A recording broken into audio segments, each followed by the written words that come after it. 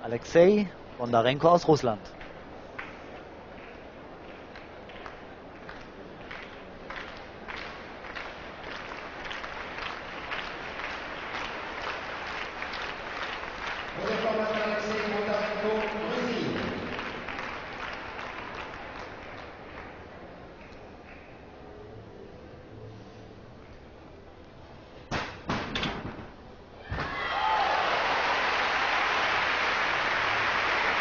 Auch er.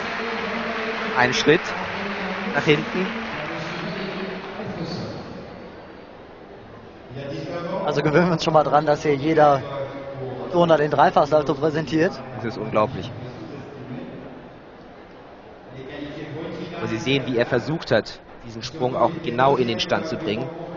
Der Schön hat die Beine nicht allzu weit geöffnet. Er streckt hier schon relativ früh, aber einen Tick zu früh und musste dadurch auch einen Schritt zurückgehen. Das heißt, er hat an sich die Übersicht. Sehr interessant, diesen Zusammenhang. Der Turner, der einen solchen Sprung zeigen will, muss also auf eine Geschwindigkeit von 8,5 Metern pro Sekunde kommen. Das entspricht bei einem 100-Meter-Lauf eine Zeit unter 11. Und diese Geschwindigkeit erreicht allerdings innerhalb von 25 Metern. Und er muss die Kraft haben, auch eben diese Geschwindigkeit vom Laufen halt in den Sprung hineinzubringen. Das heißt also, ohne dass er eine Hüfte wegbricht. Das sind also gewaltige Kräfte, die auf den Turner hier einwirken.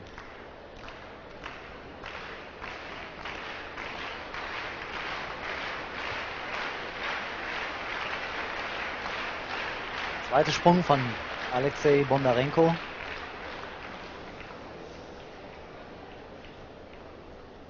War ja Zweiter im Mehrkampffinale.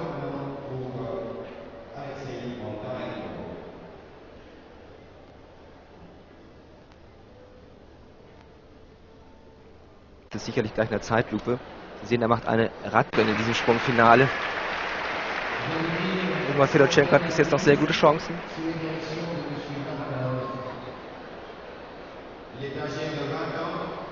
Auch er, wenn man jetzt mal guckt, diese technischen Unterschiede, er greift ganz weit vorne über dem Pferd. Ganz weit vorne. Während die anderen doch beim ersten Teil des Pferdes aufgreifen. Springt auch weit über die Matte hinweg.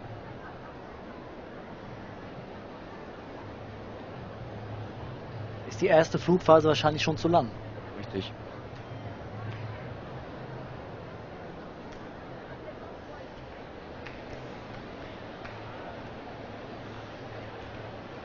Günstiger ist es natürlich schon, man greift vorne am Pferd, nicht so weit hinten.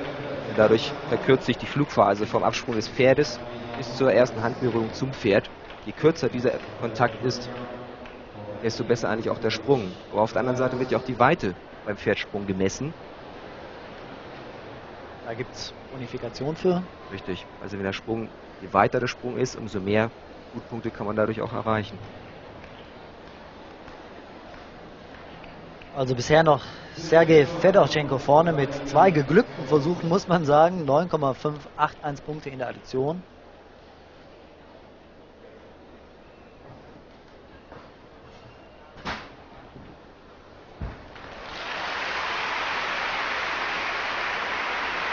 Auch der zweite Sprung schon ein bisschen schwieriger, aber von der Ausführung also nicht gerade elegant gewesen. Sie sehen also, er hatte schon eigentlich deutliche Haltungsfehler. Hier die Radwende auf das Brett. Dann kommt ein sogenannter Flickflack ohne Drehung. Und hier ist also schwer abzuschätzen, sollte das jetzt nun gestreckt sein oder gehockt. In diesem Falle müsste man eigentlich zugunsten des Turners sagen, gut, es war ein gestreckter Sprung, aber mit gehocktem Bein.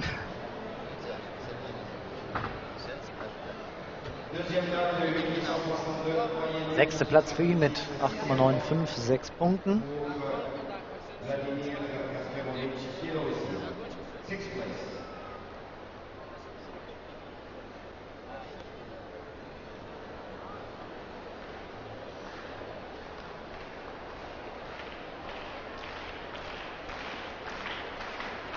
Yunfeng Xiao aus China und damit haben wir Gewissheit, dass René Czernicek leider nicht zu diesem Finale antreten konnte.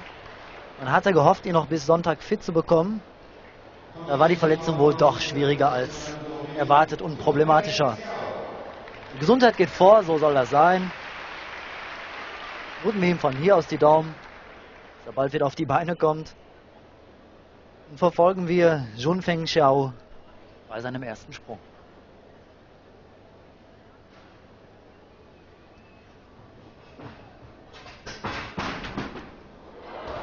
Oh.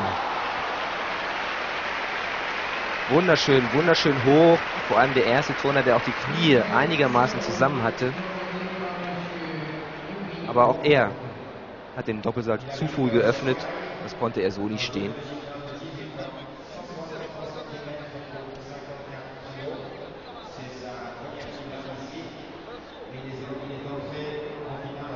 Sieht man es nochmal sehr schön. Knie geschlossen, wie schnell er dreht, aber jetzt viel zu früh geöffnet. Und er sitzt natürlich.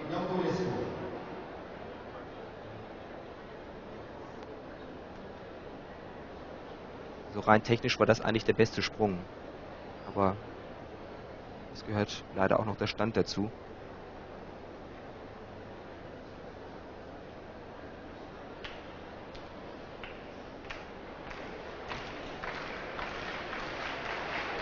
Aufmunterndes Klatschen für ihn. Also dieser, dieser Sprung ist wirklich super schwer zu stehen. Es ist schon ein hohes Risiko, was die Turner da eingehen.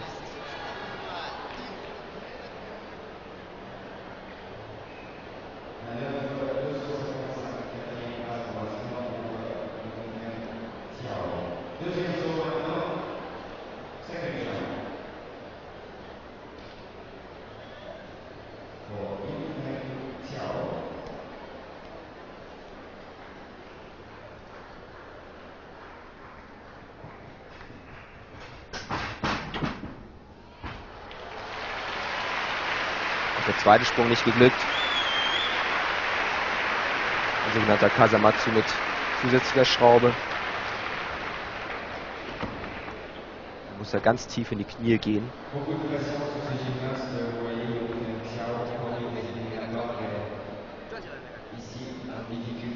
Das ist der neue Weltmeister, Sergei Fedorchenko. Vierter war er im vergangenen Jahr in San Juan in Puerto Rico bei der Einzelweltmeisterschaft. Heute Sprung ganz nach vorne.